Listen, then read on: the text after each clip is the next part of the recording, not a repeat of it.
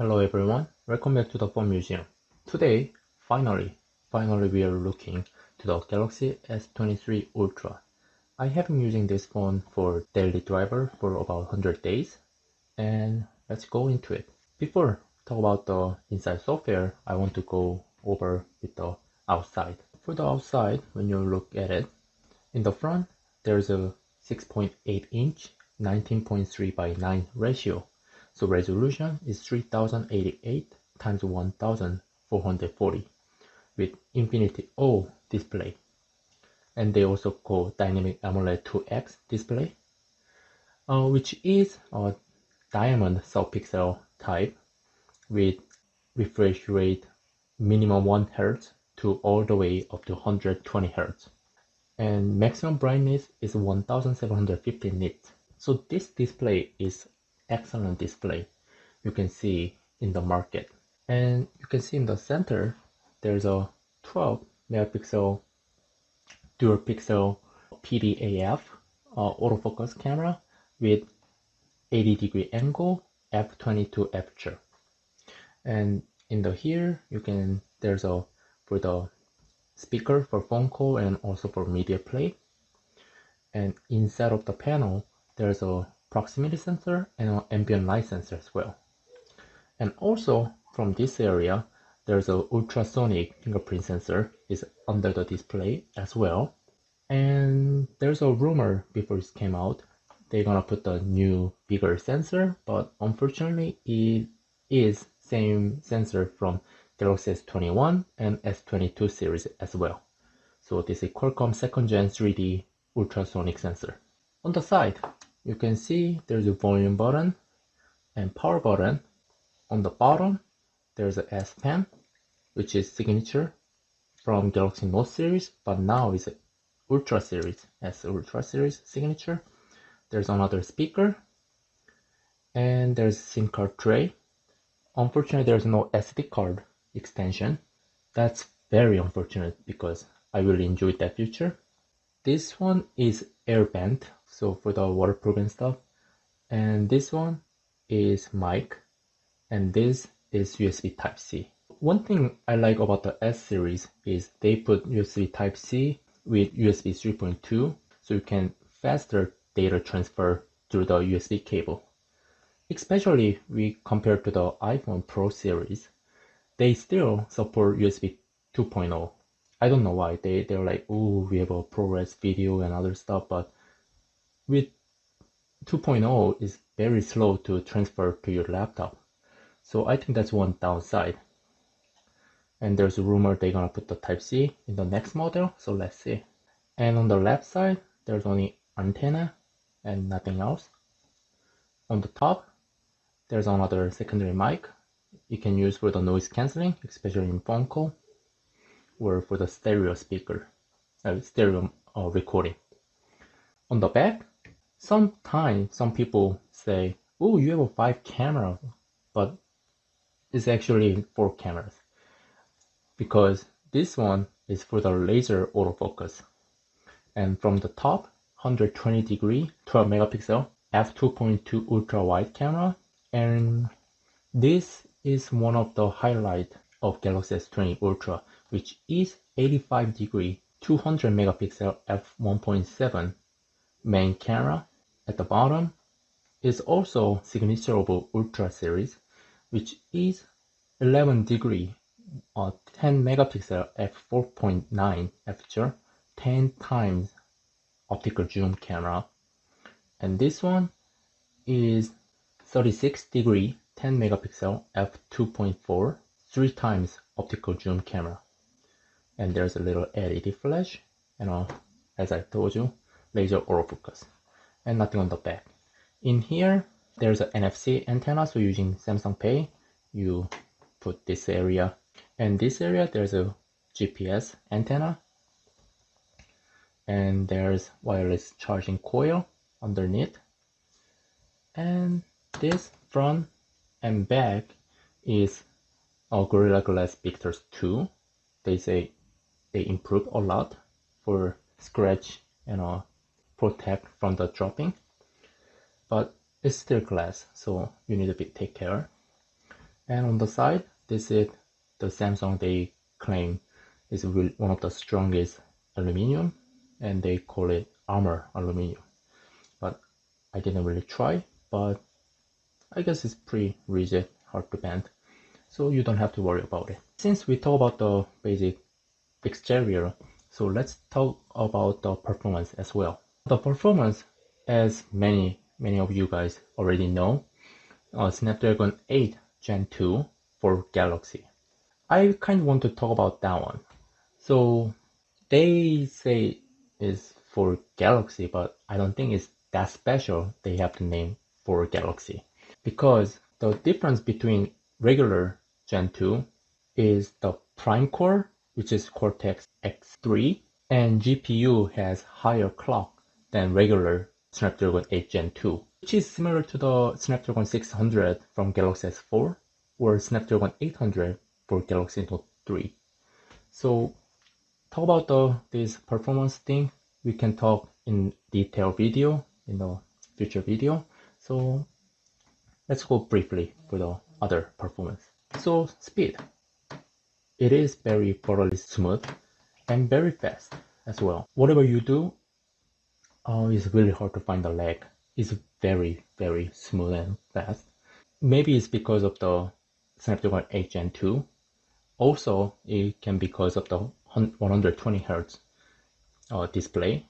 And also they did pretty well for the optimization of this one UI so it's pretty good. And also these days summer is pretty hot already. Right now it's a little cool down but when I use it in May the temperature went all the way up to 32 degree uh, which is close enough to 90 degree Fahrenheit. And also, uh, my room does not have AC. My house does not have AC, so even in those temperature, I didn't feel that overheating. This device didn't overheat much. And I think because they claim they, they make a three times bigger vapor chamber, so even in uh, hot summer, you don't have to worry too much about the overheating issues.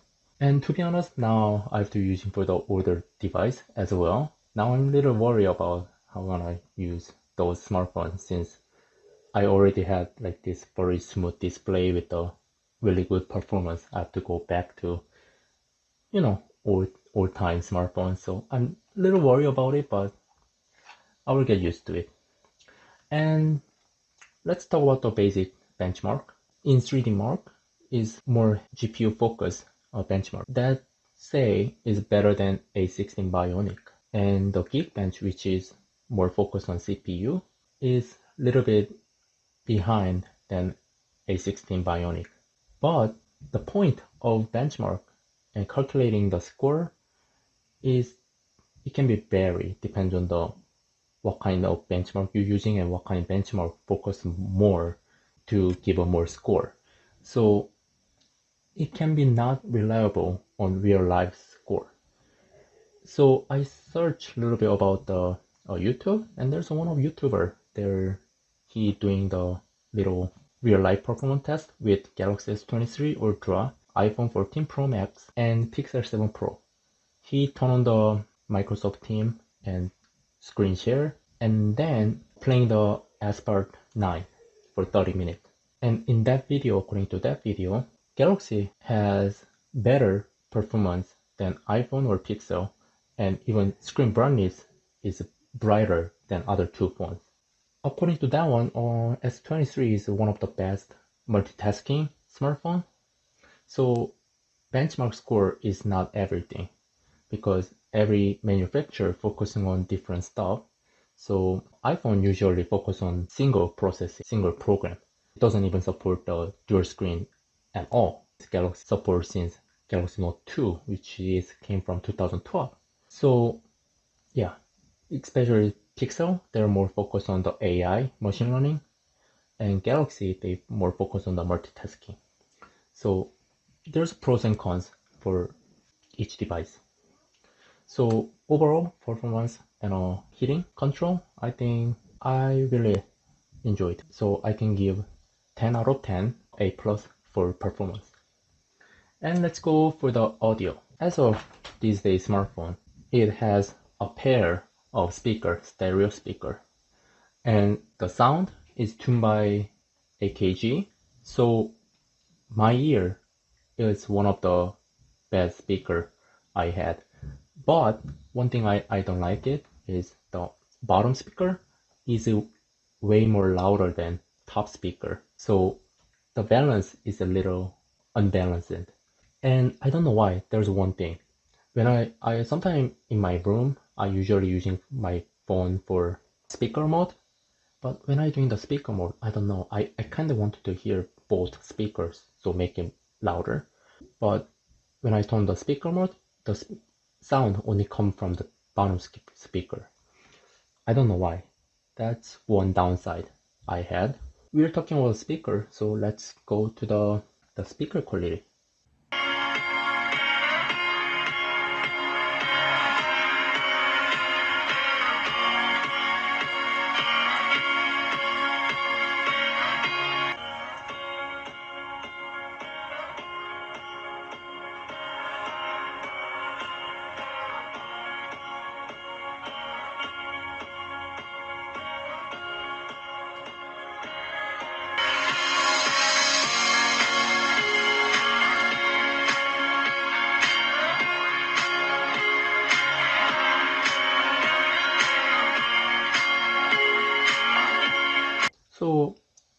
Time, I was on the Dolby Atmos with the music. Uh, I, I really like the speaker. The sound is pretty rich and loud. But I was a little disappointed with the, the balance because it's not because of the top speaker is so bad. It's because bottom speaker is way better than top speaker. That's why it's a little unbalanced. And also doing the speaker phone call, it's only come out the one speaker instead of two speaker. So I can give 9 out of 10 which is A for the audio. And I want to talk about the battery. So inside there is 5000 milliamps battery which is pretty big. And for the wireless up to 15 watt charging. And for the wire is all the way up to 45 watt and my usual usage, I turn on the, the protect battery, which is it charged up to 85%. And I try to charge when it's below 40% and discharge when it's over 80%. Using like that, expect time of battery usage is show 11 hours of screen on time and three day and a half for screen off time. So total, I can use around day and a half, which is pretty good. Even this prediction, I never had this long battery prediction before. So it's amazing. Oh, by the way, when I'm using the phone, I turn on the AOD always during the daytime and I turn on the the little light kind of stuff always on and dark mode as a schedule and also usually I using the this little performance as a light mode and always turn the 120 hertz uh, refresh rate. So 11 hour that's prediction. So how's in real life? From 100% to 0% so I test with many different scenario.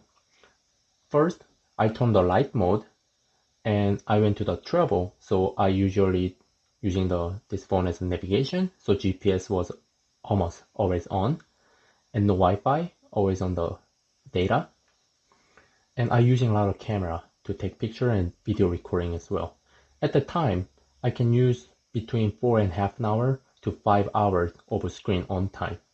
And I was wondering, okay, so what if I turn on the ultra power saving mode? So there's power saving. If you go to detail, you can limit the apps and home screen as well. If you turn on, then there's only eight apps on the home screen. Everything is black on the background and stuff.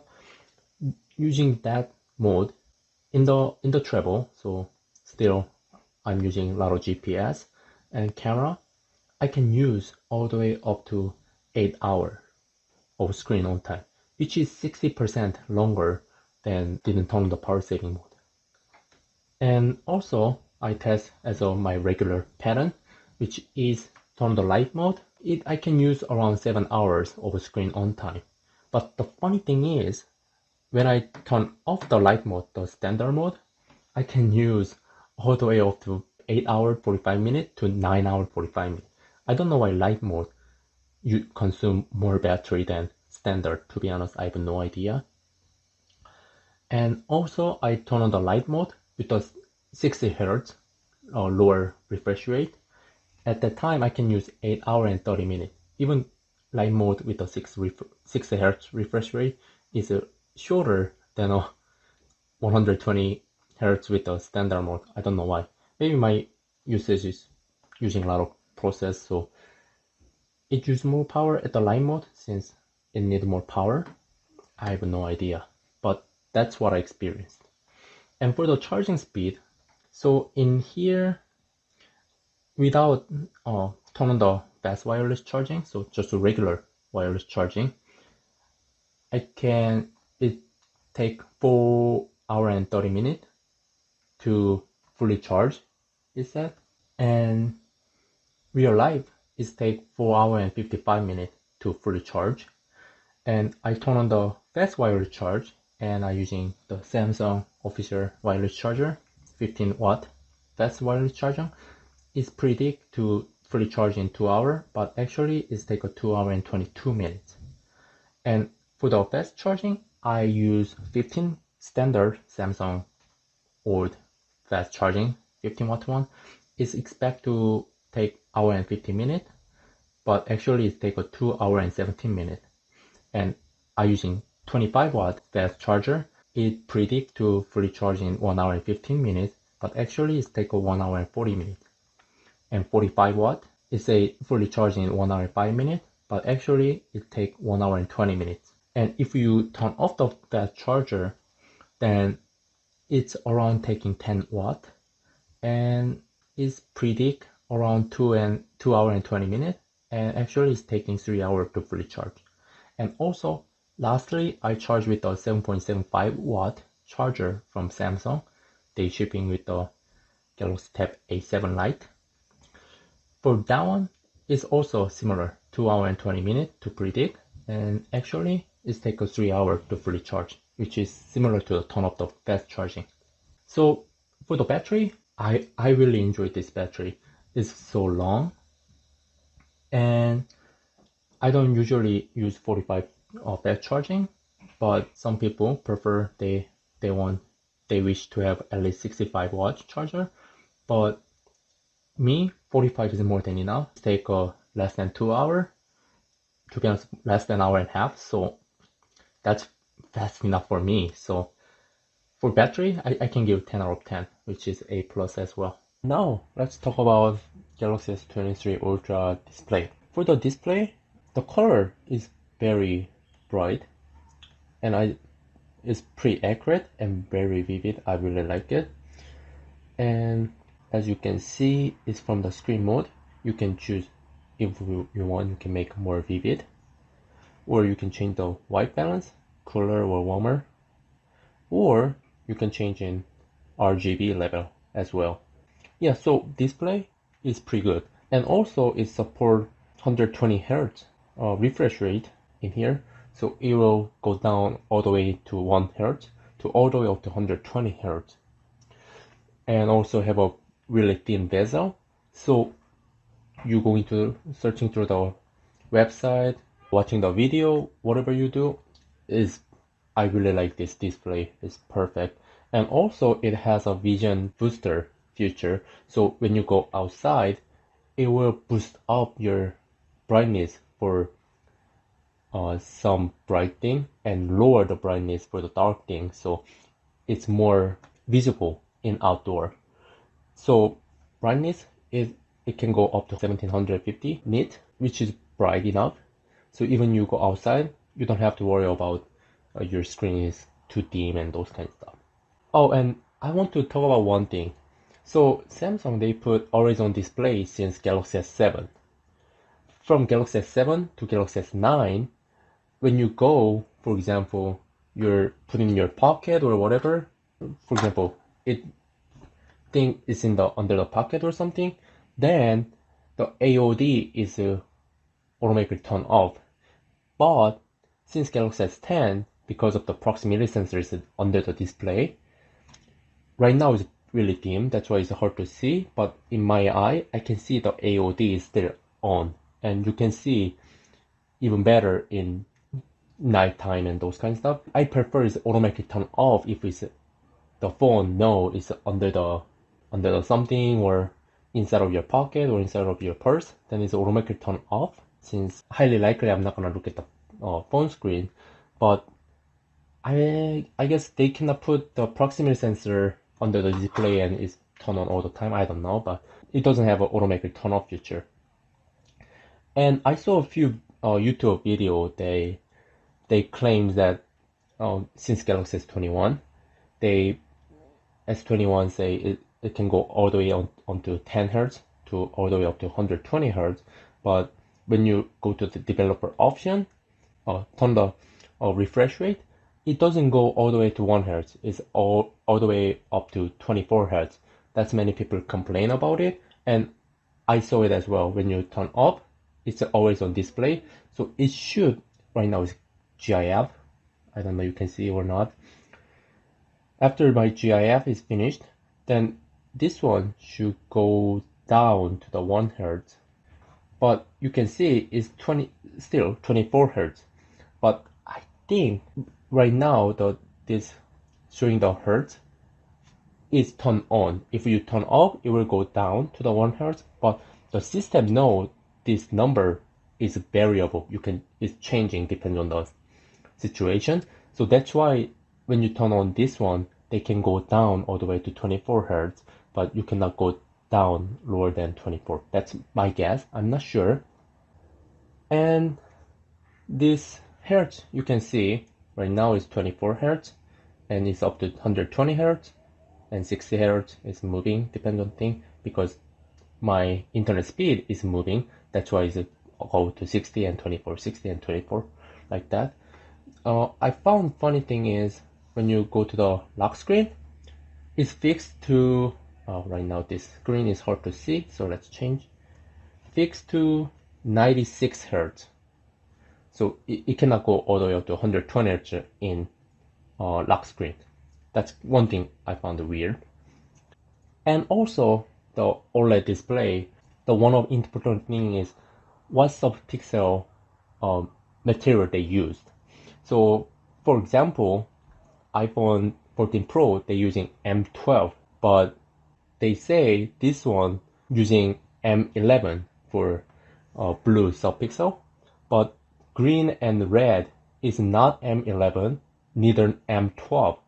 So there's a, a research uh, test team, they say uh, blue is one generation behind, but red and green, they changed something. So the color accuracy and vividness is excellent. So blue is one of the weakest uh, to get a situation. So it's not one M12, that's a one downside, but still the color accuracy and after M10, there's not a big issue in burn-ins, I believe. So I think the display is pretty good. I can give 9.5 out of 10, which is a plus. And the last, I want to go over the camera because since Galaxy S23 Ultra Unpacked, they spent lots of time about the camera. And camera, there's front and back. There's total five cameras, and all the five camera they they support PDAF, and other than 200 megapixel camera, they all support a dual pixel as well. And other than the ultra wide camera and a front facing camera, all three cameras support OIS as well. So the camera itself seems pretty expensive to manufacture. That's why one, one of the reasons it's a pretty expensive phone. For the for picture quality, I really enjoyed enjoy taking picture with this phone. This phone give me a another joyness of taking picture because one thing is I can zoom in to like 10 times. All the way to 30 times is still useful. And if you bright good condition all the way to 50 times is still usable and 100 times is kind of a little gimmicky but sometimes it's good but sometimes it's kind of a little cartoonish. But I think it's still good. So either way you're taking picture day night or nighttime front back both really good. And iPhone 14 Pro has finally they put autofocus on front face camera but Galaxy since Galaxy S8 has autofocus on the front face camera so with a big group you don't have to worry about the you're losing focus. And I want to talk about more in detail in camera episode but they put little camera assistant so you can customize whatever you want.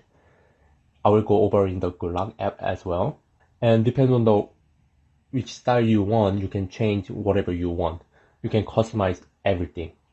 So I this one is also when you when you download the app is automatically in the settings app. It's right here. But I sometimes I want to change it immediately so I put on the home screen so I can change anytime. And also they put the photo remaster feature. I mean this one has been there for since Galaxy S20 but at the time I cannot turn on on the setting.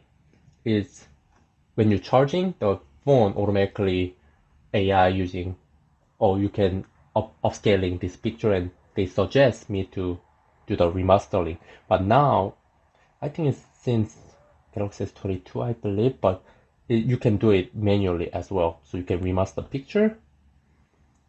Then in this case there's a little shade, um, shadow but you can erase that shadow as well.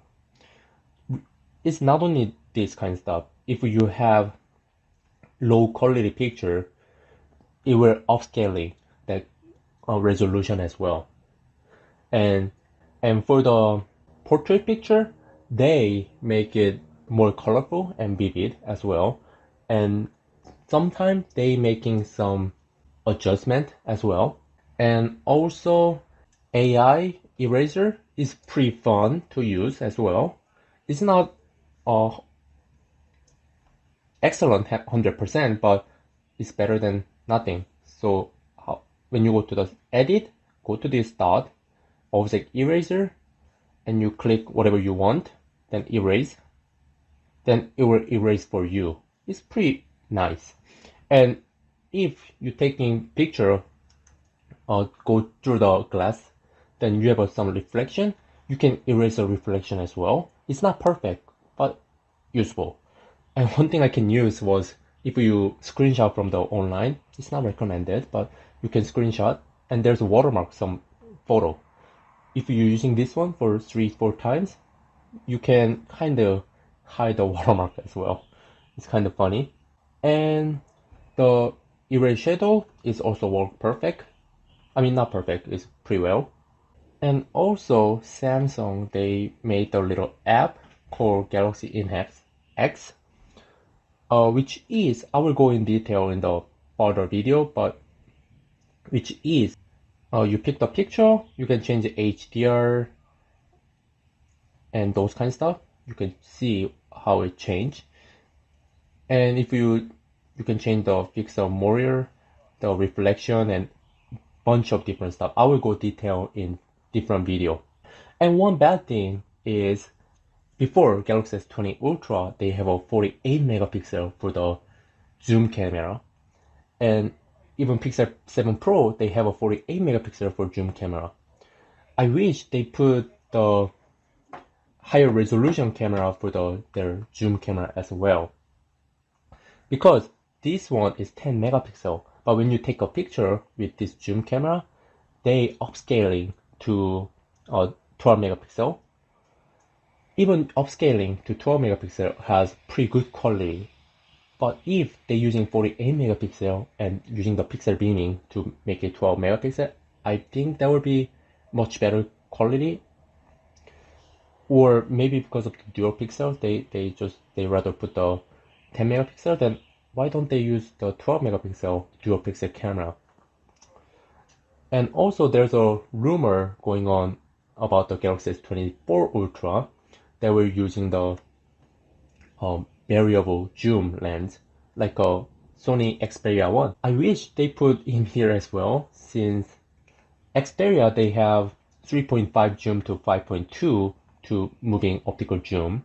So because of the this is mobile, it doesn't have a big space. Maybe it's hard to do five times to ten times, but hopefully in S24 Ultra or other uh, later phone, hopefully they put uh, ultra wide camera and a main camera, three three times optical zoom camera, and five to ten times zoom camera.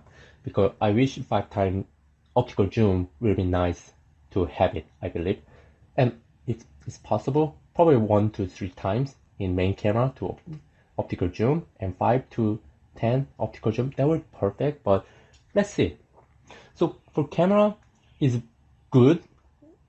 I mean, I should say excellent, but I can see in the future they're gonna put the optical zoom lens and stuff, so I will give 9.5 out of 10. So overall, that was 100 days uses of Galaxy S23 Ultra as a main driver, and I tried to be as short as possible, but it's getting a little long. But so later, I will more in detail about the camera and main UI, the One UI, and also Good Lock applications and basic apps of Samsung apps and settings as well. So speaking of that, if you want to receive those video as soon as possible, I will try to make it as soon as possible as well. Then please subscribe my channel and give me a thumbs up. That would be nice. Thank you so much and have a nice day.